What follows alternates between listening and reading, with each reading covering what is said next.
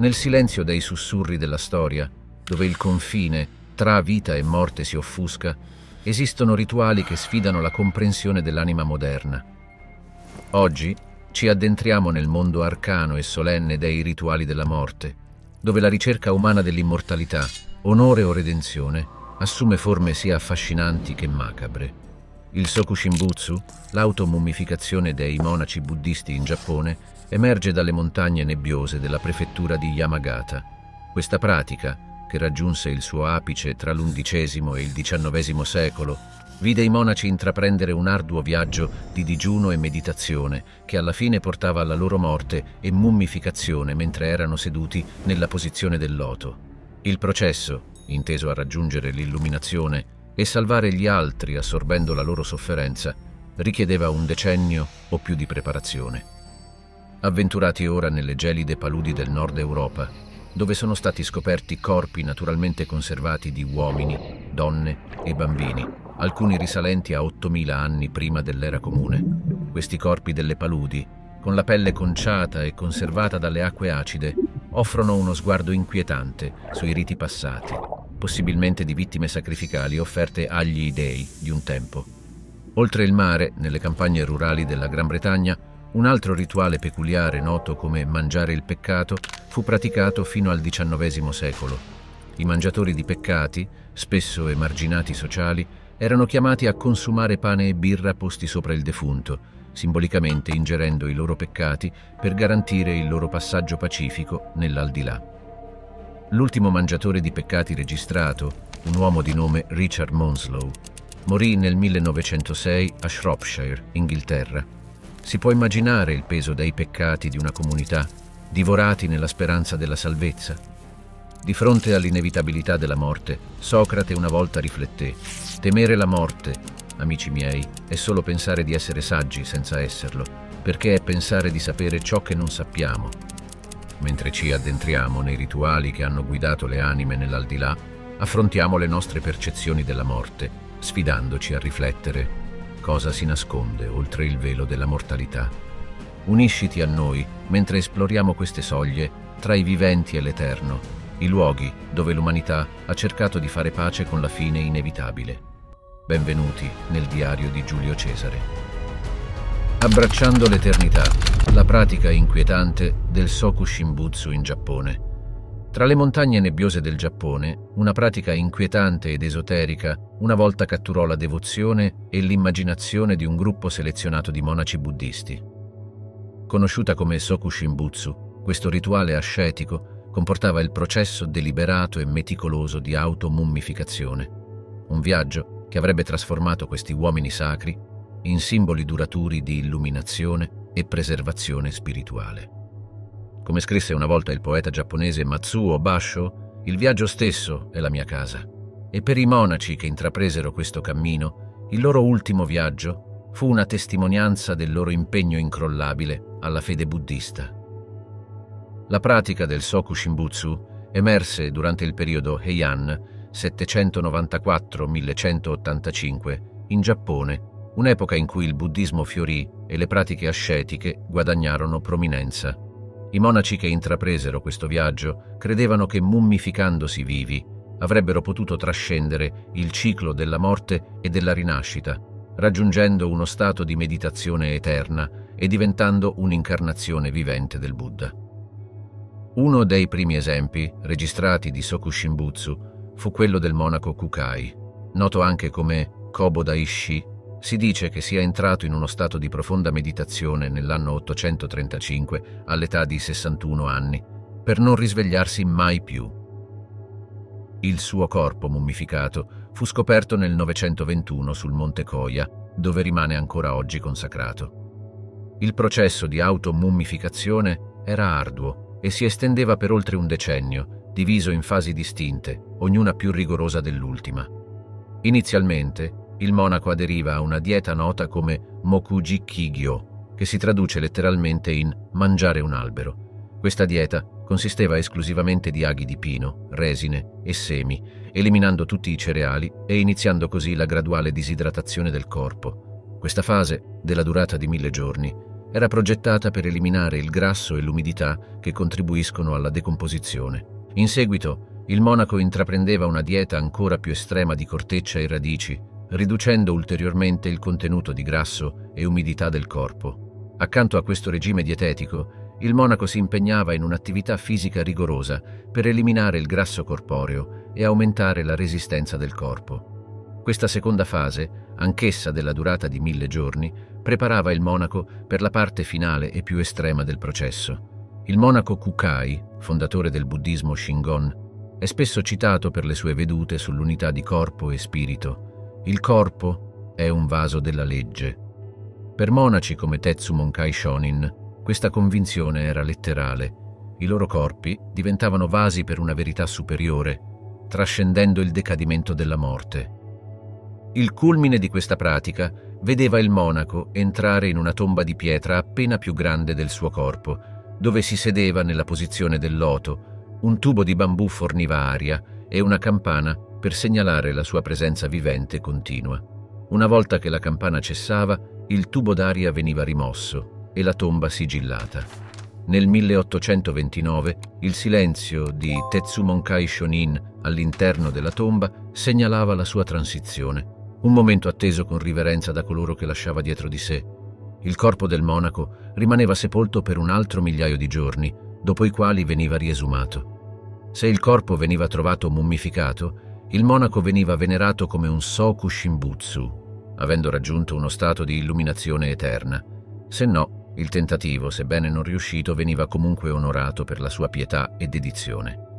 Uno degli esempi più famosi di Soku Shimbutsu è quello del monaco Tetsumon Kai Shonin, che iniziò il suo viaggio verso l'automummificazione alla fine del XVIII secolo. Nato nel 1742 nel villaggio di Tsuruoka, Tetsumon Kai era un devoto seguace della setta Shingon del buddismo. All'età di 58 anni intraprese il cammino del Soku Shimbutsu, ritirandosi in una piccola camera murata di pietra sul sacro Monte Yudono. Lì Trascorse gli ultimi anni della sua vita in profonda meditazione, il suo corpo lentamente consumandosi mentre consumava solo il minimo indispensabile di sostentamento. Nel 1829, dopo quasi tre anni di questa pratica ascetica, i discepoli di Tetsumon Kai lo trovarono in uno stato di perfetta meditazione, il suo corpo mummificato e conservato per l'eternità. Oggi i suoi resti possono essere visti al tempio Nangakuji a Tsuruoka, una testimonianza della sua devozione duratura e della potenza del rituale Soku Shimbutsu. La pratica del Soku Shimbutsu non era priva di pericoli e controversie. Molti monaci che tentavano questo viaggio morivano molto prima di raggiungere la mummificazione, i loro corpi devastati dalle dure pratiche ascetiche e dall'ambiente implacabile delle montagne, altri erano persi agli animali selvatici o agli elementi, i loro sacrifici dimenticati da tutti tranne che dai seguaci più devoti.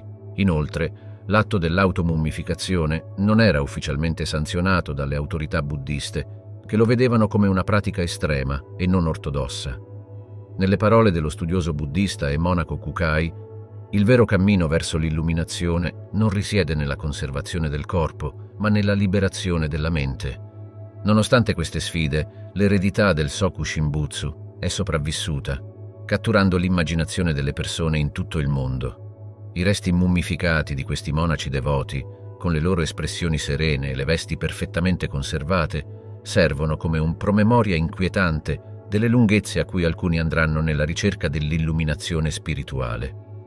Nelle montagne della prefettura di Yamagata il tempio di Dainichibo ospita i corpi mummificati di 16 monaci che hanno subito il Soku Shimbutsu, i loro volti incisi con la serenità e la contentezza di coloro che hanno trovato la pace eterna. Come scrisse il poeta Kobayashi Issa, in questo mondo effimero, a cosa c'è da aggrapparsi? Solo ai fiori di ciliegio, solo alla luna. Oggi la pratica del Soku Shimbutsu non viene più esercitata essendo stata ufficialmente bandita dal governo giapponese alla fine del XIX secolo. Tuttavia, lo spirito di questi monaci ascetici vive ancora, le loro storie e sacrifici tramandati attraverso le generazioni come testimonianza del potere duraturo della fede e dello spirito umano.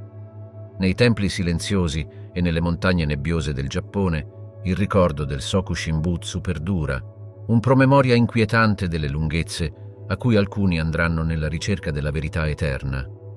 Come disse il maestro Zen Dogen, se non puoi trovare la verità proprio dove sei, dove altro ti aspetti di trovarla? Echi dell'eternità, le inquietanti torri del silenzio, nella tradizione zoroastriana, nelle antiche terre della Persia, dove i sussurri della storia si mescolano con gli echi del divino, una misteriosa e macabra tradizione si è perpetuata per secoli. Le torri del silenzio zoroastriane, conosciute come Dakma, stanno come sentinelle silenziose, testimoniando una pratica che ha affascinato e inquietato coloro che l'hanno incontrata. Queste torri senza tetto, esposte agli elementi e allo sguardo implacabile del sole, servono come ultimo luogo di riposo per i defunti, dove i loro resti terreni sono offerti agli uccelli di preda in un rituale di purificazione e trasformazione. Lo storico greco Erodoto, scrivendo nel V secolo, descrisse la pratica zoroastriana della sepoltura celeste come una meraviglia da vedere, un testimone delle strane e meravigliose usanze dell'Oriente.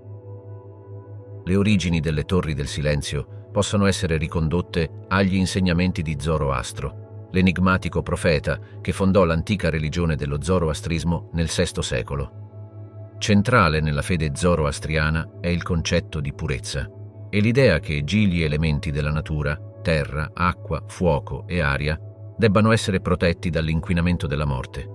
Nei testi sacri della Vesta, Zoroastro parla dell'importanza di disporre dei morti in modo che preservi la santità di questi elementi, affermando il corpo, quando l'anima lo ha lasciato, non deve essere sepolto nella terra, né bruciato con il fuoco, né gettato nell'acqua, perché ciò contaminerebbe questi sacri elementi.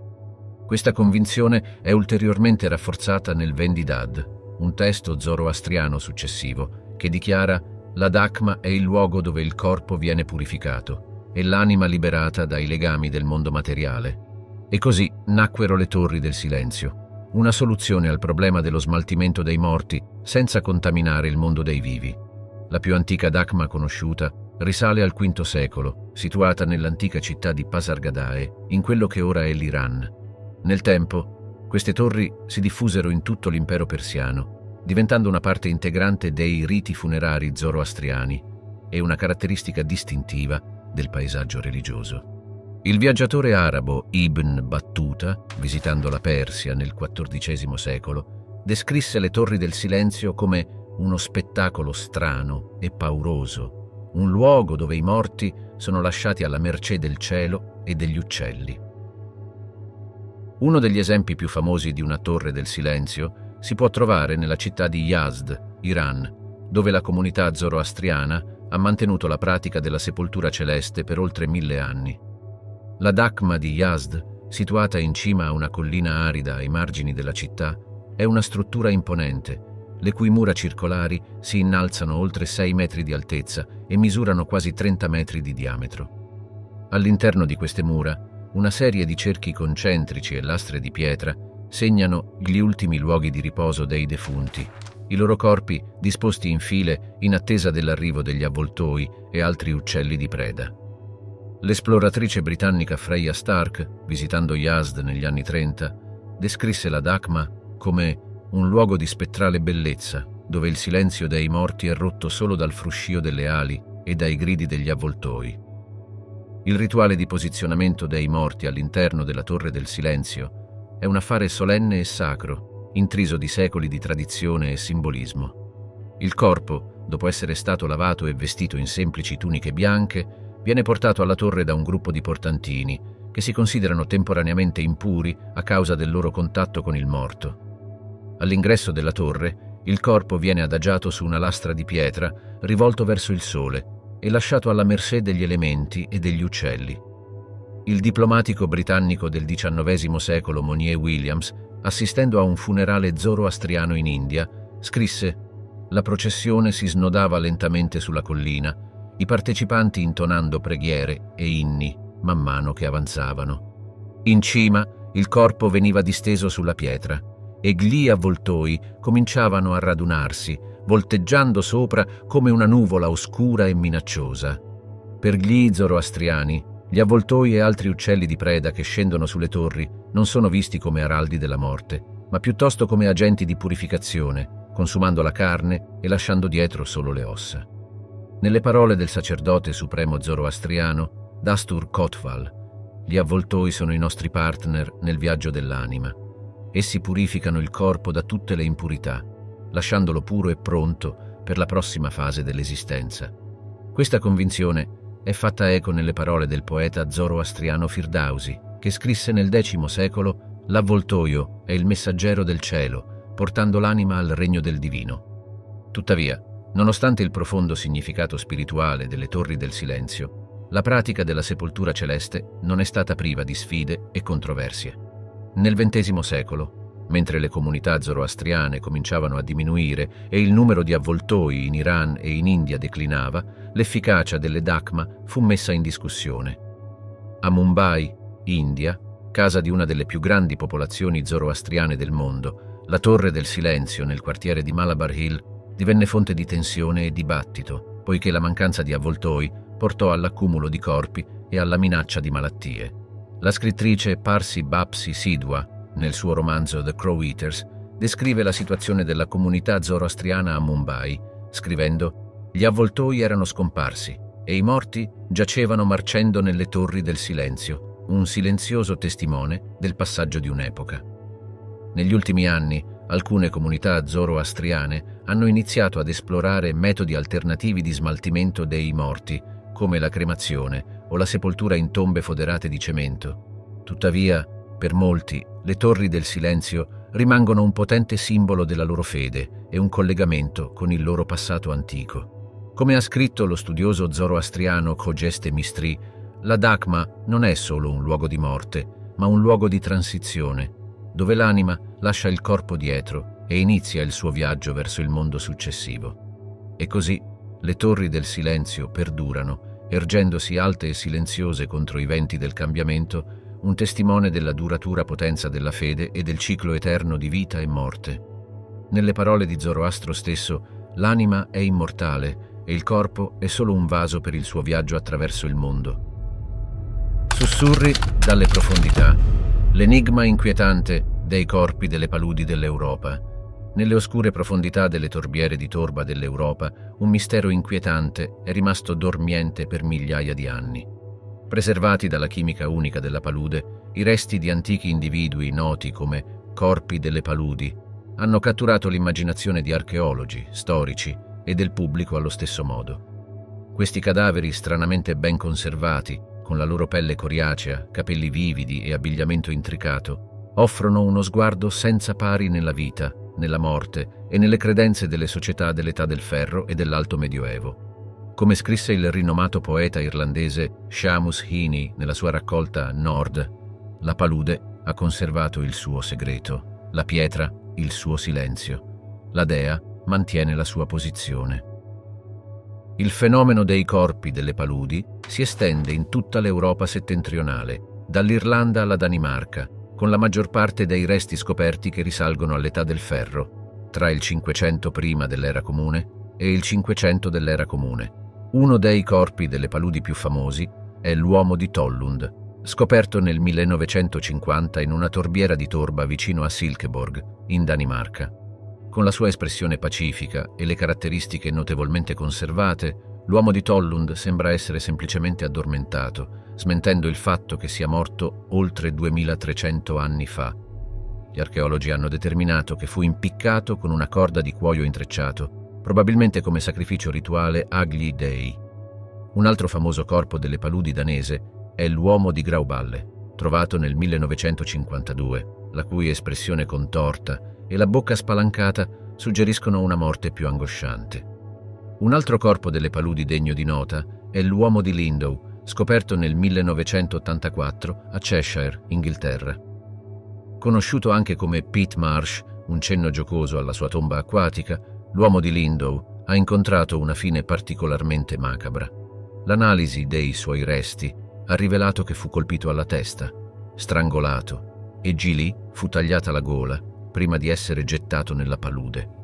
la precisione e la molteplicità delle sue ferite suggeriscono che l'uomo di Lindow fu vittima di un omicidio cerimoniale, forse come offerta agli dei o come punizione per una trasgressione contro la sua comunità. La scoperta dell'uomo di Lindow è stato un momento fondamentale nella ricerca sui corpi delle paludi, poiché fu la prima volta che tecniche forensi moderne furono utilizzate per studiare questi antichi resti. L'abilità unica delle paludi di conservare resti umani ha fornito ai ricercatori un'opportunità senza precedenti per studiare le caratteristiche fisiche, la salute e gli stili di vita dei popoli antichi. Ad esempio, il contenuto dello stomaco dell'uomo di Grauballe, un corpo delle paludi della Danimarca risalente al III secolo, ha rivelato un ultimo pasto di porridge fatto da 60 tipi diversi di semi e erbe. Questa scoperta ha illuminato le abitudini alimentari e le pratiche agricole delle comunità dell'età del ferro nella regione. Allo stesso modo, le acconciature elaborate e le unghie ben curate della donna di Elling, un altro corpo delle paludi danese del III secolo, suggeriscono che fosse una donna di alto status sociale, sfidando le nozioni preconcette sui ruoli di genere nelle società preistoriche. Come ha notato l'archeologo P.V. Glob nella sua opera fondamentale Il popolo delle paludi, i corpi delle paludi sono una fonte unica di informazioni sui nostri antenati, il loro modo di vivere, le loro credenze e il loro destino. La scoperta dei corpi delle paludi ha anche innescato discussioni sulle pratiche religiose e ritualistiche delle comunità dell'età del ferro e dell'alto medioevo. Molti studiosi ritengono che questi individui fossero vittime sacrificali, offerti agli dei come parte di un complesso sistema di credenze e superstizioni. Nel suo libro Il popolo delle paludi, l'uomo dell'età del ferro preservato, l'archeologo danese P.V. Glob sostiene che i corpi delle paludi fossero consacrati alla dea della palude, una figura divina che richiedeva offerte di sangue in cambio delle proprietà vitali della torba. Questa teoria è supportata dal fatto che molti corpi delle paludi, come l'uomo di Windeby dalla Germania, datato intorno al 100 d.C., e Franz Rosso, dai Paesi Bassi, datato intorno al 200 d.C., sono stati trovati con corde o altri segni di uccisione rituale. Questa teoria è supportata dal fatto che molti corpi delle paludi mostrano segni di uccisione rituale, come l'impiccagione dell'uomo di Tollund o le molteplici ferite inflitte all'uomo di Lindow. Inoltre, le stesse paludi erano probabilmente viste come luoghi sacri, spazi liminali tra il mondo dei vivi e il regno degli dei. Il gesto di depositare un corpo nella palude potrebbe essere stato un modo di comunicare con il divino, un mezzo per assicurarsi il favore degli dei o per espiare misfatti passati. Lo storico romano Tacito, scrivendo nel I secolo, descrisse la pratica del sacrificio umano delle tribù germaniche, notando che credono che gli dei siano più compiaciuti da tali offerte. Tuttavia, non tutti i corpi delle paludi furono il risultato di sacrifici rituali. Alcuni, come la ragazza di Windeby dalla Germania, potrebbero essere stati individui ordinari che morirono per cause naturali o incidenti e furono semplicemente sepolti nella palude. Altri, come Gli uomini di Wirdinge dai Paesi Bassi, potrebbero essere stati vittime di conflitti armati o esecuzioni. La gamma diversificata di età, generi e cause di morte dei corpi delle paludi evidenzia la complessità delle società dell'età del ferro e dell'alto medioevo, sfidando narrazioni semplificate di barbarie o superstizione primitiva. Come ha osservato l'archeologa Heather Gill Robinson, i corpi delle paludi non sono solo una curiosità o uno spettacolo macabro. Sono una finestra sulla vita e sulla morte di persone reali, con tutta la complessità e la sfumatura che ciò comporta. Man mano che gli scienziati moderni continuano a studiare questi resti antichi, emergono nuove intuizioni sulla vita e sulla morte dei corpi delle paludi. L'analisi del DNA della ragazza di Ide, un corpo delle paludi dei Paesi Bassi, ha rivelato che era probabilmente membro di una famiglia nobile, aggiungendo ulteriori sfumature alla nostra comprensione delle gerarchie sociali nell'Europa preistorica. Allo stesso modo, tecniche di imaging avanzate hanno permesso ai ricercatori di ricostruire i tratti facciali dei corpi delle paludi, come l'uomo di Osterby, dando un volto umano a questi individui morti da tempo e favorendo un senso di connessione con il nostro passato antico. Come ha scritto la storica Karin Sanders nel suo libro Corpi nella palude, i corpi delle paludi non sono solo campioni scientifici o reperti archeologici. Sono individui con storie da raccontare ed è nostra responsabilità ascoltare. Volti congelati nel tempo, l'inquietante eredità delle maschere funebri. Negli annali della storia umana, il desiderio di preservare l'aspetto dei defunti è stato un tema ricorrente attraverso culture e secoli. Uno dei metodi più intriganti e intimi per catturare il viso dei morti è attraverso la creazione di maschere funebri. Queste impressioni inquietanti, prese direttamente dal viso del defunto, offrono uno sguardo unico sulla vita e sui tempi di coloro che sono passati. Lo storico romano Polibio, scrivendo nel secondo secolo, notava l'importanza di onorare i defunti. La cosa più preziosa nella vita è essere ricordati dopo la morte. La tradizione di creare maschere funebri risale alle antiche civiltà con i primi esempi noti che provengono dall'antico Egitto. La famosa maschera d'oro di Tutankhamon, scoperta da Howard Carter nel 1925, è forse l'esempio più noto di questa pratica. Gli antichi egizi credevano che preservare l'aspetto del defunto fosse essenziale per il viaggio dell'anima nell'aldilà.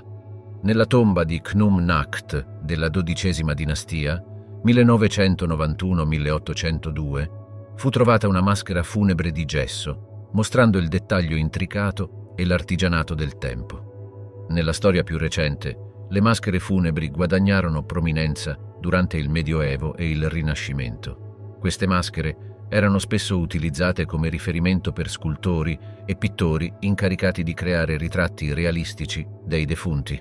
Un esempio notevole è la maschera funebre del poeta italiano Dante Alighieri, presa dopo la sua morte a Ravenna nel 1321. Questa maschera servì come base per numerosi ritratti e sculture del rinomato scrittore, assicurando che la sua somiglianza perdurasse per secoli. Un'altra famosa maschera funebre di questo periodo è quella del re inglese Enrico VII, presa alla sua morte nel 1509 al Richmond Palace. La pratica di creare maschere funebri raggiunse il suo apice nei secoli XVIII e XIX, particolarmente in Europa e negli Stati Uniti. Durante questo periodo, le maschere funebri non erano solo usate per scopi artistici, ma anche come mezzo di commemorazione e ricordo. Le famiglie spesso esponevano le maschere funebri dei loro cari nelle loro case, servendo come connessione tangibile con coloro che erano passati.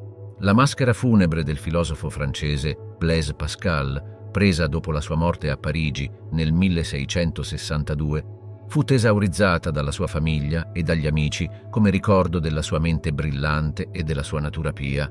Una delle maschere funebri più famose di questo periodo è quella di Napoleone Bonaparte, presa poco dopo la sua morte in esilio sull'isola di Sant'Elena nel 1221. La maschera, che cattura l'espressione serena dell'imperatore nei suoi ultimi momenti, è stata oggetto di molta fascinazione e studio. In una lettera a suo fratello Giuseppe, il medico personale di Napoleone, Francesco Antommarchi, descrisse il processo di creazione della maschera. Ho preso la precauzione di far fare uno stampo del suo viso, che è venuto perfettamente bene.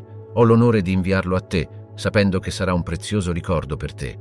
La maschera funebre del leader rivoluzionario francese Massimiliano Robespierre presa dopo la sua esecuzione a Parigi nel 1294, è un altro esempio suggestivo di questo periodo. La maschera funebre di Abraham Lincoln, presa dallo scultore Clark Mills a Washington, D.C. nel 1865, è un altro esempio notevole di questo periodo. La maschera, che cattura le caratteristiche scarnite e segnate dal dolore del presidente, serve come un promemoria commovente del tributo che la guerra civile inflisse alla nazione e al suo leader.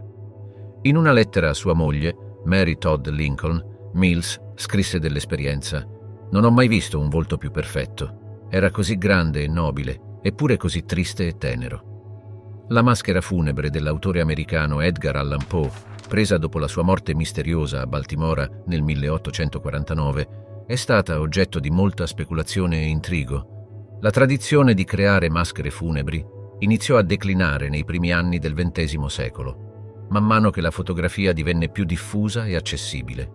Tuttavia, l'eredità di queste impressioni inquietanti perdura offrendo uno sguardo unico e intimo sulla vita e sui tempi di coloro che ci hanno preceduto. Oggi le maschere funebri si possono trovare in musei e collezioni private in tutto il mondo, servendo come testimonianza del potere duraturo del volto umano e del desiderio di preservarlo per la posterità.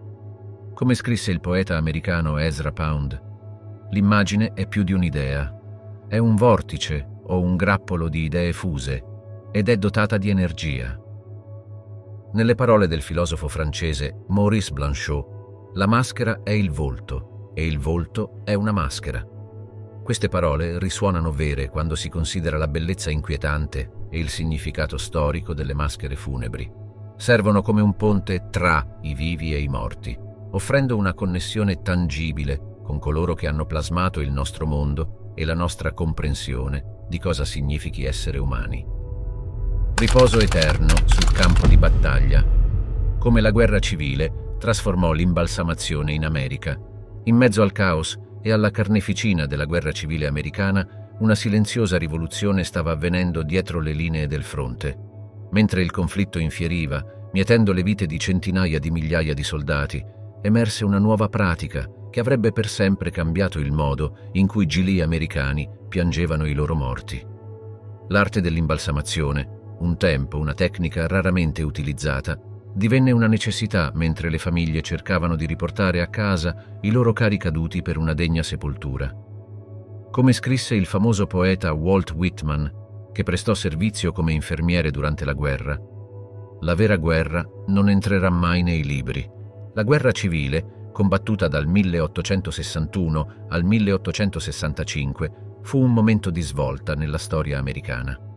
La scala senza precedenti del conflitto, combinata con l'avvento di nuove tecnologie come il telegrafo e la ferrovia, significava che la notizia della morte di un soldato poteva raggiungere la sua famiglia entro giorni. Tuttavia, le lunghe distanze tra i campi di battaglia e le città natali dei soldati presentavano una sfida scoraggiante. Come poteva una famiglia assicurarsi che i resti del proprio caro arrivassero a casa intatti? Nel 1862, un soldato di nome James Cathy della Carolina del Nord, morì in un ospedale dell'Unione a Filadelfia. Sua moglie, Mary, viaggiò dalla loro casa nella contea di Buncombe per recuperare il suo corpo, solo per scoprire che era già stato sepolto in un cimitero locale. Entrano in scena Glai imbalsamatori. Questi abili praticanti, armati di conoscenza dell'anatomia e di una varietà di conservanti chimici, allestirono i loro laboratori vicino alle linee del fronte, offrendo i loro servizi alle famiglie in lutto. Uno degli imbalsamatori più famosi dell'epoca della guerra civile fu il dottor Thomas Holmes, spesso accreditato di aver popolarizzato la pratica negli Stati Uniti.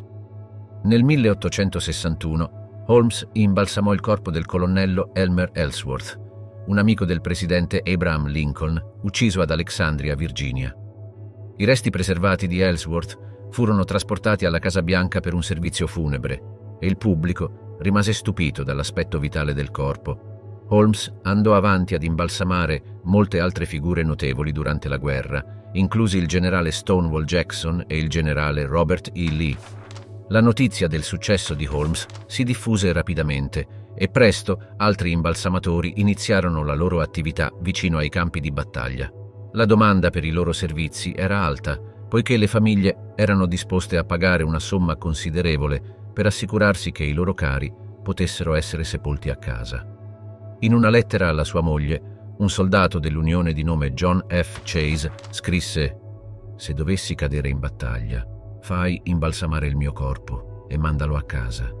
Non voglio essere sepolto sul campo di battaglia». Un altro soldato, David Ballinger, scrisse alla sua moglie nel 1864 Voglio che tu faccia imbalsamare il mio corpo e mandarlo a casa se dovessi essere ucciso. Il processo di imbalsamazione durante la guerra civile era ben lontano dalle tecniche moderne usate oggi. Gli imbalsamatori iniettavano tipicamente una soluzione conservante, solitamente contenente arsenico o mercurio, nelle arterie del corpo. Gli organi interni venivano quindi rimossi e sostituiti con un materiale di riempimento come segatura o gesso di Parigi. Il corpo veniva vestito con un abito o un uniforme e posto in una bara di legno per il trasporto. Un imbalsamatore, il dottor Auguste Renoir, affermò di aver imbalsamato oltre 1100 corpi durante la guerra, usando una formula segreta che rifiutava di rivelare. L'ascesa dell'imbalsamazione durante la guerra civile ebbe un profondo impatto sulle pratiche funebri americane. Prima della guerra, la maggior parte delle famiglie seppelliva i propri morti entro un giorno o due dalla morte e l'idea di conservare un corpo per un periodo prolungato era vista come innaturale. Tuttavia, la necessità dell'imbalsamazione durante la guerra aiutò a normalizzare la pratica, che presto divenne una parte standard dell'industria funebre americana. Nel 1865 fu fondata a Rochester, New York, la prima organizzazione professionale di imbalsamazione, l'Associazione Nazionale dei Direttori Funebri. L'eredità dell'imbalsamazione durante la guerra civile può ancora essere vista oggi nel modo in cui gilii americani piangono i loro morti. La pratica di tenere una veglia o un risveglio, dove amici e familiari si radunano per rendere omaggio al defunto, ha le sue radici nell'epoca della guerra civile. La vista di un corpo conservato e vitale in una bara, una volta una novità, è diventata una presenza familiare e confortante ai funerali americani come scrisse il famoso direttore funebre e imbalsamatore George Huntington nel suo libro del 1883, I principi e la pratica dell'imbalsamazione. L'arte dell'imbalsamazione ha fatto più per alleviare il dolore dei dolenti di qualsiasi altra agenzia umana.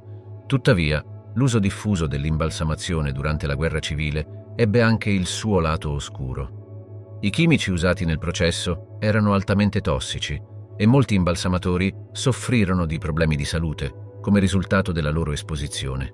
Inoltre, l'alta domanda per i servizi di imbalsamazione portò alla nascita di praticanti senza scrupoli che approfittavano delle famiglie in lutto, chiedendo tariffe esorbitanti per lavori scadenti. Nel 1865 un articolo del New York Times avvertiva i lettori del pericolo di essere ingannati da imbalsamatori senza principi.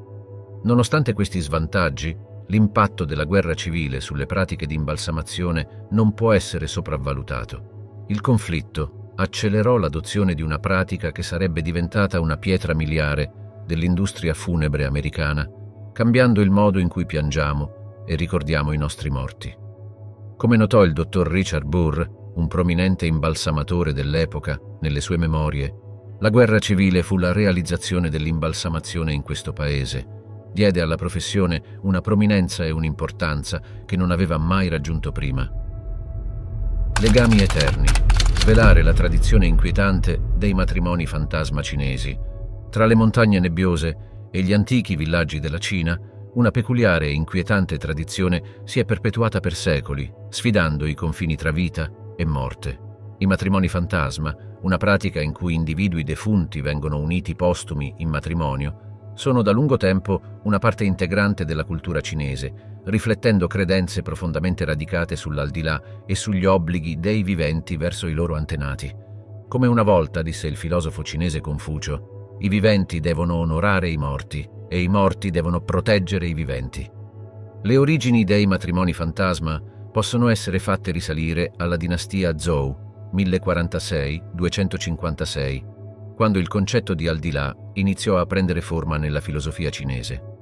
Gli antichi cinesi credevano che il mondo degli spiriti riflettesse il regno dei viventi e che i defunti richiedessero le stesse necessità e compagnia che avevano in vita. Questa convinzione diede origine alla pratica di seppellire i morti con i loro possedimenti, servi e persino i loro coniugi.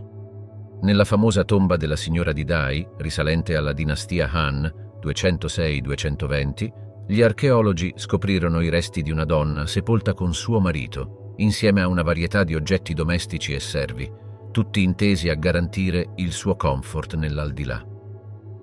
Col passare del tempo, la tradizione dei matrimoni fantasma si evolse, diventando un mezzo per unire due individui deceduti che non si erano mai incontrati in vita.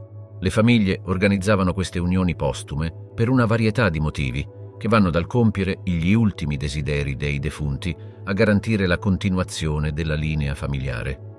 In alcuni casi, i matrimoni fantasma venivano persino usati per placare gli spiriti irrequieti, creduti essere la causa di sfortuna o malattie tra i viventi. Nel romanzo della dinastia Ming, La rivolta dei demoni dei tre sui, l'eroe Su Yangdi, organizza un matrimonio fantasma tra sua figlia defunta e lo spirito di un guerriero per assicurarsi la sua alleanza in battaglia. Uno degli esempi più famosi di un matrimonio fantasma nella storia cinese è quello dell'imperatore Xuantong della dinastia Qing, meglio conosciuto come Puyi, l'ultimo imperatore della Cina. Nel 1962, quasi un decennio dopo la morte di Puyi, sua vedova, l'imperatrice Wanrong, morì in prigione.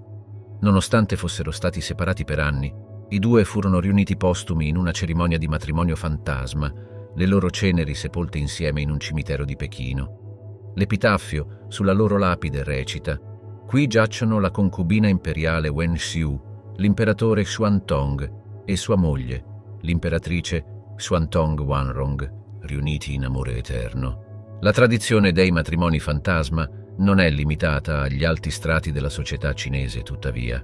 Nei villaggi rurali di tutto il paese la pratica è rimasta una parte profondamente radicata della vita per secoli.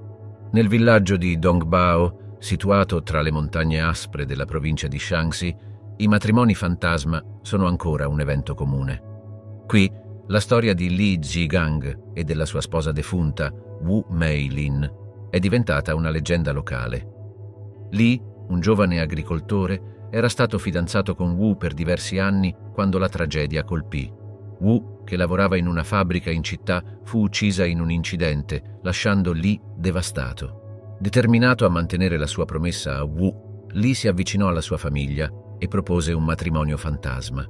Le due famiglie accettarono e fu tenuta una cerimonia, completa di un banchetto di nozze tradizionale e della combustione di effigi di carta che rappresentavano la sposa e lo sposo. La storia di Li non è unica. Nel vicino villaggio di Yangao, un simile matrimonio fantasma ebbe luogo nel 2012 tra il figlio defunto di un funzionario locale e il cadavere di una giovane donna, la cui famiglia ricevette una sostanziosa dote in cambio del loro consenso. La pratica dei matrimoni fantasma non è priva dei suoi aspetti più oscuri, tuttavia. Negli ultimi anni ci sono state segnalazioni di ladri di tombe nelle province di Shaanxi e Henan, in Cina, specializzati nel rubare i corpi di giovani donne da vendere a famiglie in cerca di spose per i loro figli defunti. Questo commercio macabro ha portato a misure di sicurezza aumentate nei cimiteri e a un rinnovato interesse per le implicazioni etiche dei matrimoni fantasma. Nel 2015 il governo cinese ha ufficialmente vietato la pratica dei matrimoni fantasma, citando preoccupazioni per la profanazione delle tombe e lo sfruttamento dei morti. Nonostante le controversie che circondano la pratica, i matrimoni fantasma rimangono una testimonianza della forza duratura dell'amore e dei legami indissolubili di famiglia nella cultura cinese. Come scrisse il rinomato autore cinese Lu Xun, i vivi sono perseguitati dai morti e i morti sono perseguitati dai vivi. Questo sentimento è forse da nessuna parte più evidente che nella tradizione dei matrimoni fantasma, dove i confini tra vita e morte sono offuscati e l'amore si ritiene trascenda la tomba. Nelle parole del poeta della dinastia Tang Li Shangyin, sebbene siamo separati dal fiume del cielo, il nostro amore durerà per mille autunni. Come dice il proverbio cinese, il matrimonio è un'unione di due famiglie, ma un matrimonio fantasma è un'unione di due anime. L'ultima cena dell'anima. Svelare la macabra tradizione del mangiatore di peccati in Europa. Negli angoli ombrosi della storia europea, una volta prosperava una pratica macabra e peculiare, una tradizione che sfumava i confini tra il sacro e il profano. Il mangiatore di peccati, un rituale in cui un individuo designato consumava un pasto sopra un cadavere per assorbire i peccati del defunto, ha da lungo tempo catturato l'immaginazione di storici e folcloristi allo stesso modo. Questa antica tradizione, con le sue radici profondamente intrecciate nelle nebbie del tempo, offre uno sguardo inquietante sulle credenze e paure che hanno plasmato le vite dei nostri antenati. Come una volta osservò lo storico gallese Peter Stead, il mangiatore di peccati è un promemoria dell'oscurità che un tempo tormentava l'anima umana.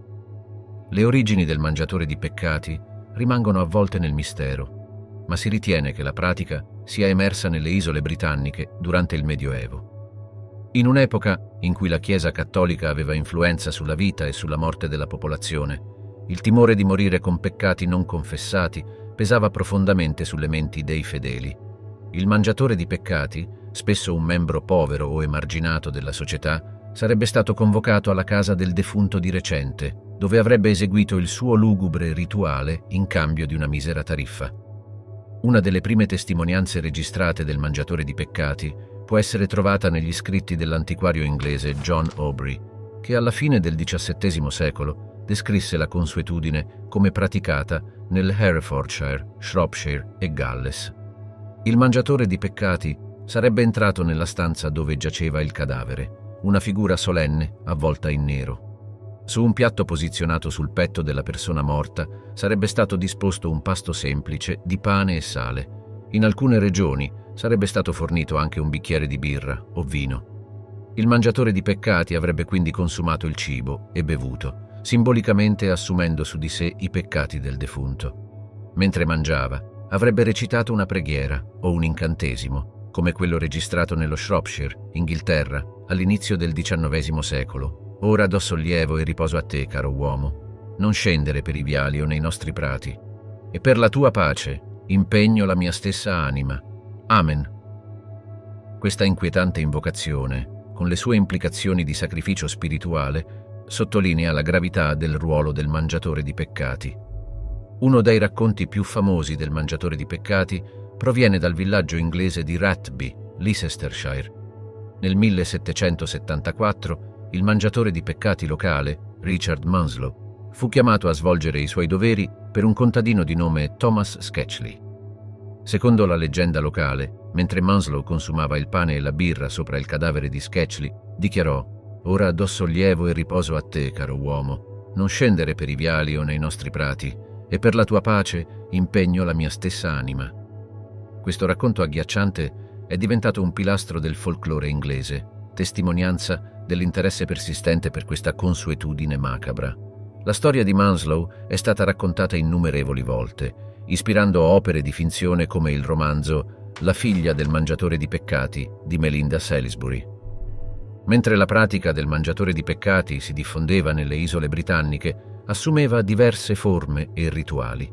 In Galles, il mangiatore di peccati avrebbe posto un piatto di legno sul petto del cadavere, con un pezzo di pane al centro e una moneta sopra.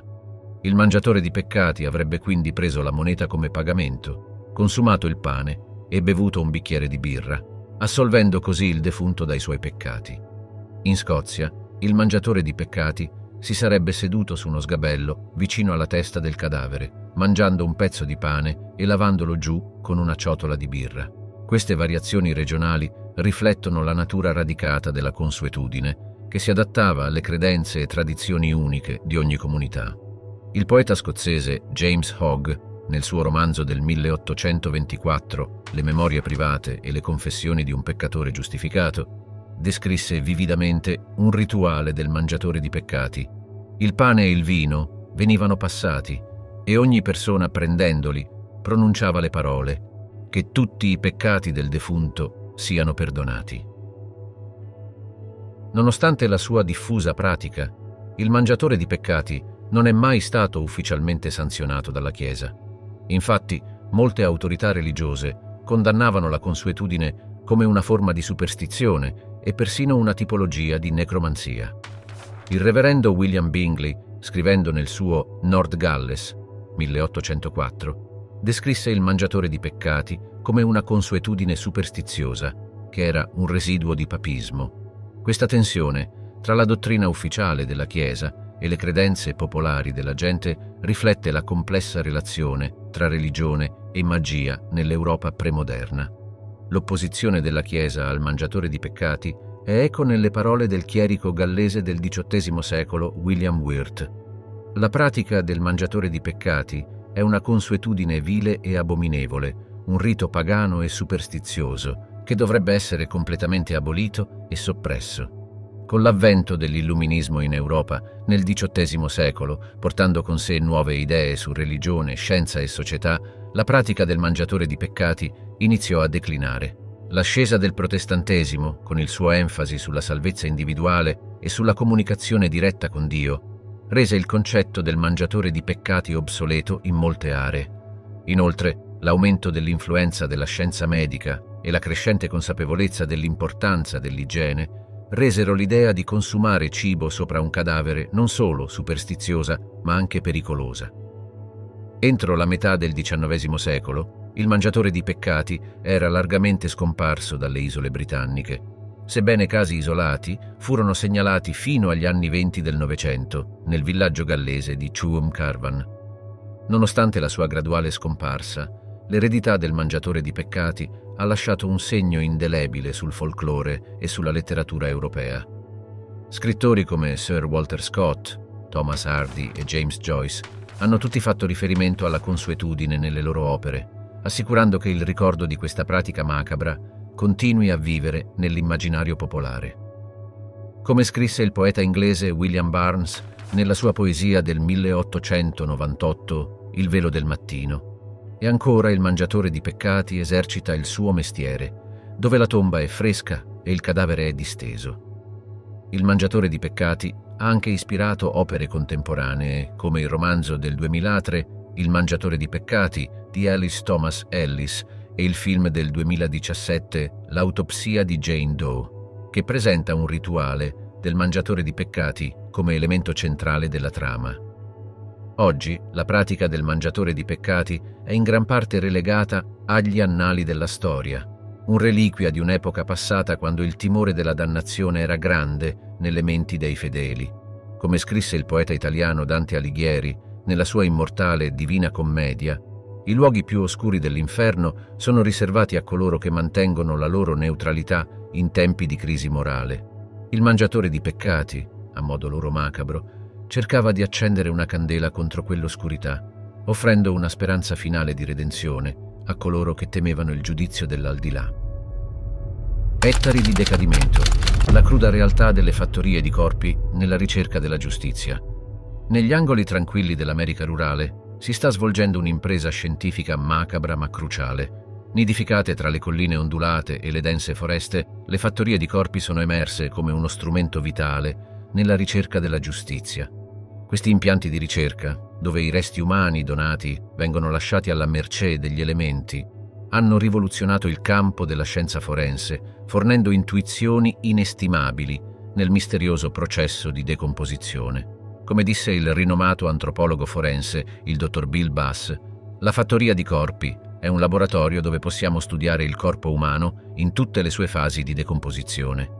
Il concetto di fattorie di corpi può essere fatto risalire agli inizi degli anni 70, quando il dottor William Bass, pioniere nello studio della decomposizione umana, stabilì il primo impianto del suo genere presso l'Università del Tennessee a Knoxville, nel 1981 Bass fu chiamato a esaminare un insieme di resti fortemente decomposti trovati in un'area boschiva.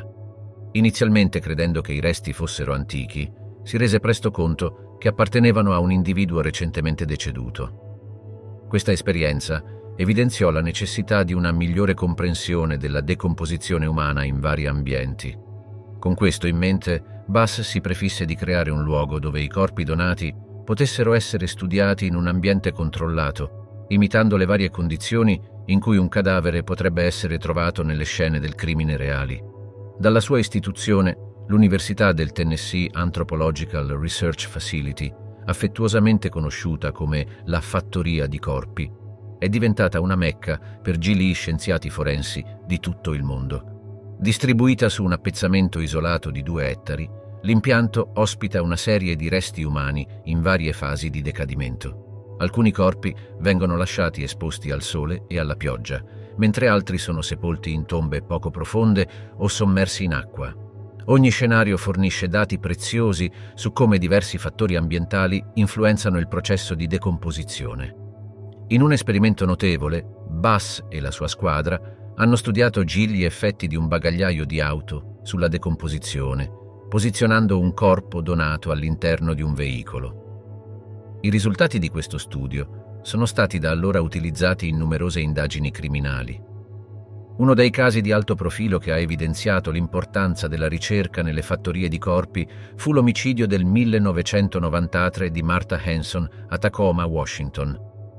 Il corpo della vittima fu scoperto in un'area fortemente boschiva e gli investigatori furono inizialmente sconcertati dallo stato avanzato di decomposizione. Fu solo attraverso l'esperienza del dottor Bass e dei suoi colleghi che avevano condotto ampi studi sull'impatto di diversi ambienti sui resti umani, che furono in grado di determinare accuratamente il tempo della morte. Questo pezzo di informazione cruciale portò all'arresto e alla condanna dell'assassino, mostrando l'applicazione reale della ricerca della fattoria di corpi. Come Bass affermò nel suo libro L'acre della morte, la fattoria di corpi C permette di applicare direttamente alle vere cause la conoscenza che guadagniamo, aiutando a risolvere i crimini e a portare chiusura alle famiglie. Nel corso degli anni, altre fattorie di corpi sono emerse negli Stati Uniti, ognuna contribuendo al crescente corpo di conoscenza nella scienza forense. Il Forensic Anthropology Center, presso la Texas State University, istituito nel 2008 dal dottor Daniel Westcott, è una di queste strutture. Situato su un appezzamento di 26 ettari a San Marcos, Texas, il centro è stato fondamentale nello studio degli effetti del duro clima texano sulla decomposizione umana. Nel 2015 i ricercatori della struttura sono stati in grado di aiutare a identificare i resti di una persona scomparsa che era stata sepolta in una tomba poco profonda per oltre due anni, fornendo chiusura alla famiglia in lutto. Il dottor Westcott ha sottolineato l'importanza di questo lavoro, affermando ogni corpo racconta una storia ed è il nostro lavoro decifrare quella storia e dare una voce ai senza voce. La ricerca condotta nelle fattorie di corpi non ha solo aiutato a risolvere crimini, ma ha anche gettato luce sulle complessità del processo di decomposizione umana. Studiando le varie fasi di decadimento, dal gonfiore iniziale e la decolorazione fino alla scheletrizzazione finale, gli scienziati hanno guadagnato una comprensione più profonda dell'interazione complessa tra un cadavere e il suo ambiente. Questa conoscenza è stata cruciale nel stimare l'intervallo post-mortem, un fattore critico nelle indagini criminali.